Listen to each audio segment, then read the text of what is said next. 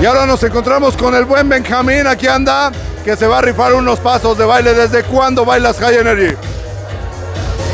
Pues desde que empezó, se podría decir. Sí. Soy iniciador. Iniciador del High Y Energy. nada más que dejé de bailar un tiempo, pero retomé Perfecto. hace unos años aquí. Y así se la rifa el Benji, hoy aquí en el homenaje al bailarín. ¡Vámonos!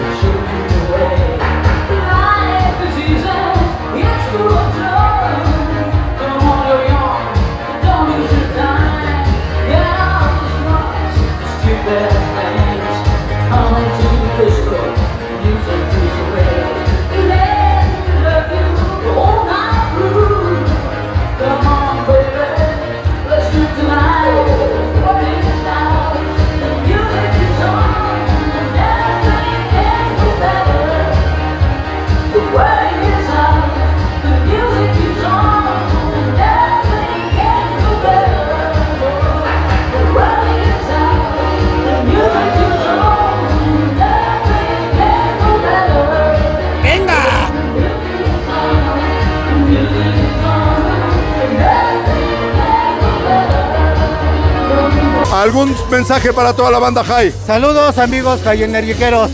Que no haya este, enemistades entre el high energy. Que siga creciendo este movimiento como hasta ahora. Vamos para arriba. Echarle ganas todos amigos.